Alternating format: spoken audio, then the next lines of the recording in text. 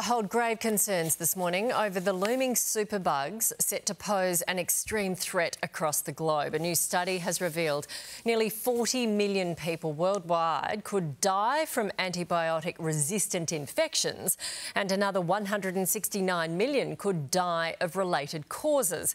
Resistance happens when bacteria develops the ability to survive the drugs that once fought against them. And now doctors are scrambling for a solution as sick patients become harder to treat.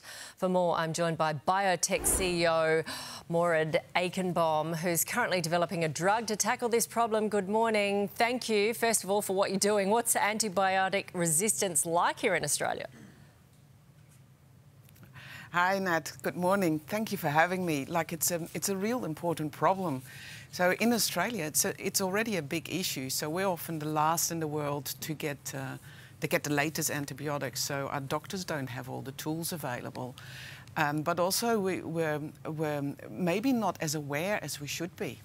Right, so you believe even more people could be killed by antibiotic resistance than what the stats are saying? Yeah, unfortunately, so when um, when patients um, die of, um, for instance, um, that, like they have cancer, they often die of an infection. But on their death certificate, we, we write that it's uh, a cancer.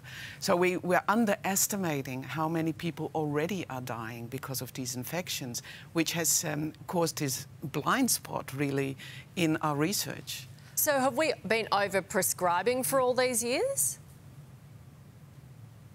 Yeah, there has been a lot of like it's it's overprescription.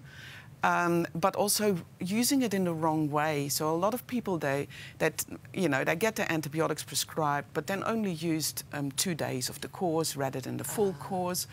Um, they might discard the antibiotics in the bin. And they, they keep on causing more resistance wherever they go. OK, so the doctor says take the whole packet, and sometimes we don't. Um, how is your work going to solve this? So, like, uh, well, we, we've got, um, we thought there is a different way. So obviously, um, by having, repeating the same issue and keep on getting more antibiotics, we keep on having the same problem, but in the future.